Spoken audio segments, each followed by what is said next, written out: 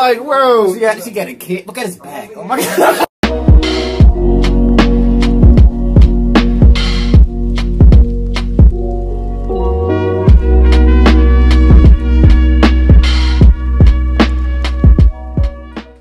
Yo, what's up? Welcome back to another reaction. Uh, we're reacting to why the world should fear dolphins, not sharks. Yeah, I just don't. I don't mess with no animals. I don't mess with the ocean. Yeah, there's no reason for me to swim There's just too much going on. And for me, I feel like when I'm at the beach, I'm gonna walk off so far, like I'm gonna hit one of them cliffs, and I'm just gonna go. It's gonna be like mm, Yeah, one of them deep canyons. I'm cool, man. you step on the reef. And last time I went to the, beach, I'm telling you, in the wave, I seen a jellyfish, like the silhouette of a jellyfish. And after that, I was just like, yeah, I'm getting out the water, like, cause I was already way too deep in the water. Like I was like, it was damn near like up to like right here, and that's not that water strong. Like that shit, like if like you get hit, that shit's salty as hell. I was already out way too deep. That was just like, yeah, I need to go back. Let me go back, cause nigga, I'm I'm way I'm way on my element. My name my, my ass needs to be on land. Black people. It'd be over. It'd be over. That shit was ridiculous, bro. It'd be over. If you go too far, it's That's over. too, bro. Don't all that, all that water. You don't know what the fuck is in there. No, ju- just just imagine being in Allegheny, them big ass catfish and shit, the size of you. No, I'm cool, man. But hey, man, Yeah, it's crazy. Casual Geographic, you change your name. I like Hood Nature, but maybe that's not as marketable. You know, YouTube's for kids now, so you got to be a little bit softer. But yeah, uh, he got good content. You know, make sure you subscribe to him. Make sure you subscribe to us. It's the road to 10k subscribers. Really appreciate all the support. We're gonna hop right into the video. What's the name? His name's Casual Geographic now. Oh, you know it gets worse. Dolphins will also divorce a fish's head from its body and then use the disembodied fish head as a fish light. There's videos.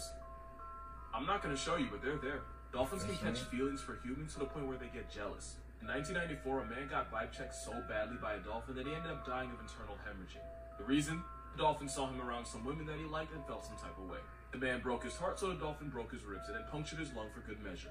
In 1965, Margaret Howe was part of an experiment where we tried to teach dolphins English, and to get her dolphin to focus, she would, uh, she, uh, the dolphin didn't apply, but he got a job. The experiment was cut short because it turns out unless it's shooting oil, playing tug of war with a dolphin's baby leg in a government-funded experiment is a terrible career move. After that, the dolphin got depressed and unsubscribed from life. Yes, capital S with a side at the end. Workers at a Florida research center smiled as they watched a bunch of dolphins play volleyball, and then stopped smiling when they realized they were just smacking around a baby shark Dolphins to the point where they had to go in and rescue it. Male dolphins will form gangs, kidnap a female, and hold her hostage, and then proceed to run through her like a track meet in violent choo-choo parties that can last weeks. And these water Weinsteins will tail smack her to keep her in line. If she tries to escape, they'll just chase her down. Dolphins only exist to serve the will of Satan. You say what you will about sharks, but Jaws would never. Okay, so I wasn't gonna talk about this, but Hank brought it up, so I'm not responsible. i the children, this is the only warning you finna get. Okay, so I'm pretty sure the blowhole thing he's talking about is this godforsaken what the right here. Fun Oh, fact here is that Amazon dolphins are believed to have, uh, I'm gonna call it bowling. These dolphins are believed to participate in gay bowling matches, but instead of a lane, it goes down their blowhole.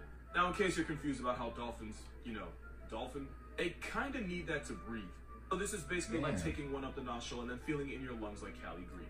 And considering dolphins who use live eels and decapitated fish heads as toys, I had no problem believing this. However, I was researching this because that's what my life has become, and I read that a dolphin research associate has said that he had never seen a dolphin violate another's blowhole like this. Gotta be somewhere Also, Europe. fun fact, dolphins can't breathe through their mouth the way we can.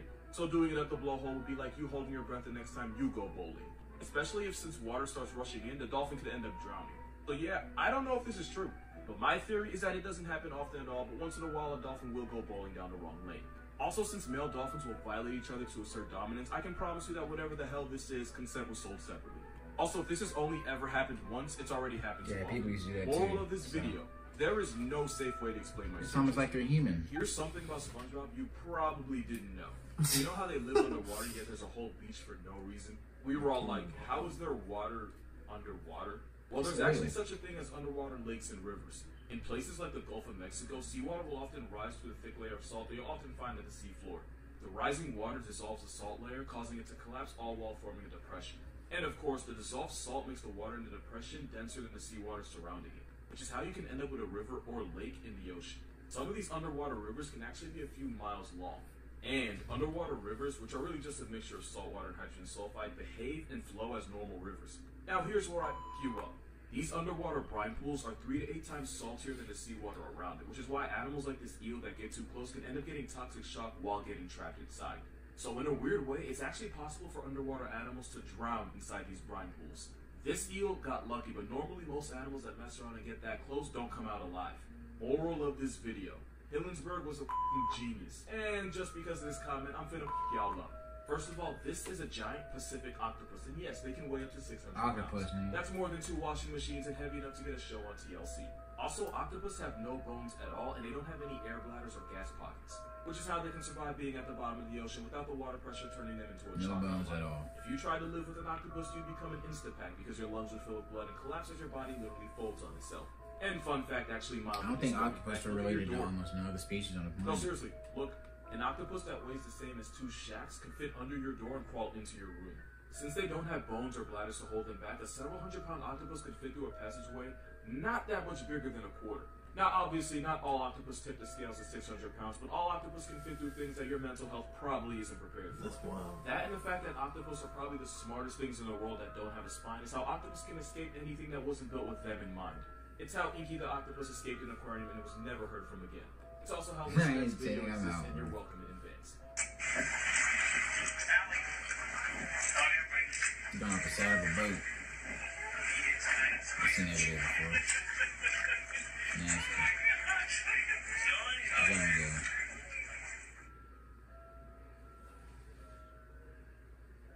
Fuck is that? Mm-mm, no, I, I'm not doing this alone.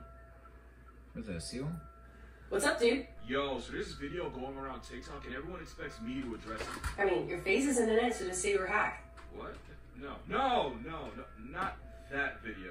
Oh! Not like the weird ass ocean demon thing. People want to know what it is, and I am not strong enough to handle it alone. I mean, it's definitely some sort of primate with the forward-facing eyes like that. I can see how people think it's a weird human demon thing because it doesn't have any fur. See, now that's what I thought. I figured with the skull structure and the canine teeth, whatever it is, or Oh, I was, haven't noticed. probably I thought it was like a that escaped fucking whatever it felt seal. like. Kind of like us. And you said it was found on the coast of Panama, right? Yeah, it was in like Playa Vidal in Panama. Also, it had these long, lanky arms that were like almost too long for itself. Like, like Probably Kevin a Durant fucking arms human like experiment. Hart You body. fucking- I mean, it's hard to tell because it's so washed Who up. is But this- okay, primate on the coast of Panama and super long legs. Hmm.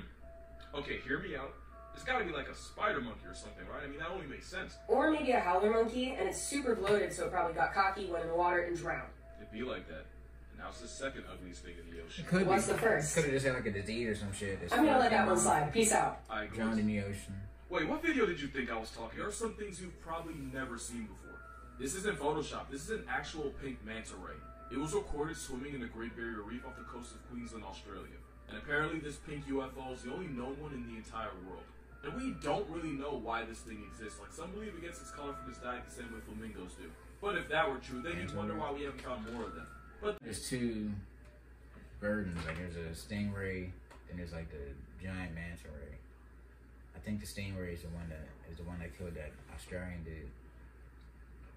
Which one? The uh, the crocodile hunter, Steven Early. Steven Irwin. Yeah, He was the one. he's the one to get killed by that stingray in Australia. Australia. I don't know how anyone lives there. Fucking spiders the size of size of pugs. I don't know how people like even look for stuff like that.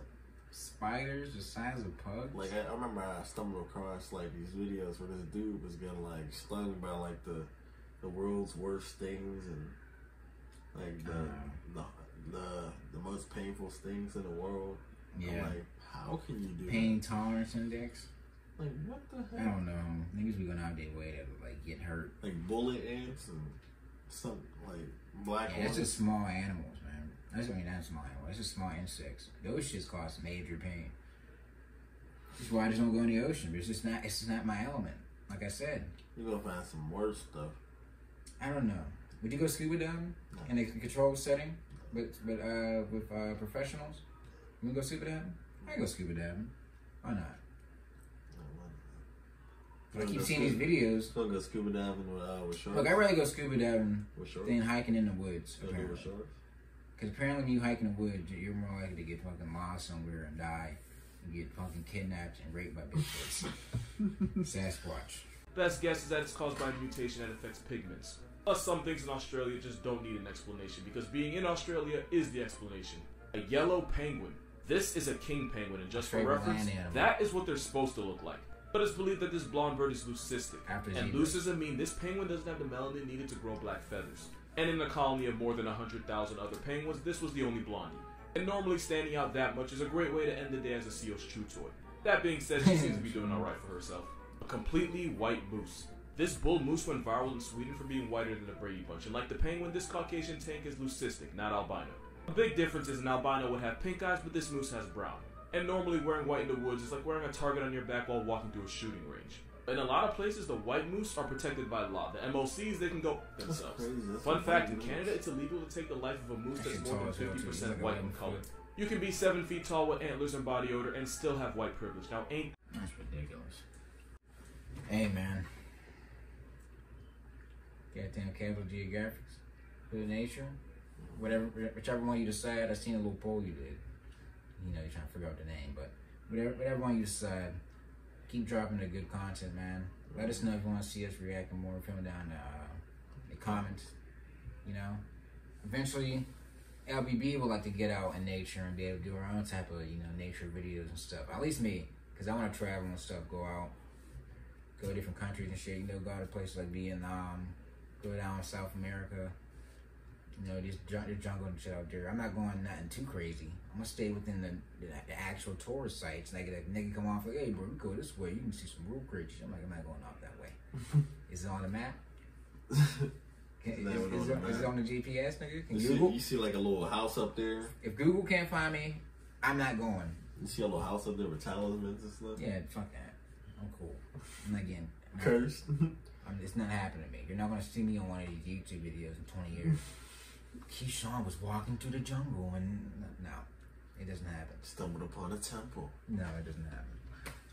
Hit the like button, subscribe, and share. It's the road to 10k subscribers. We'll see you next time. I would be peace. Peace.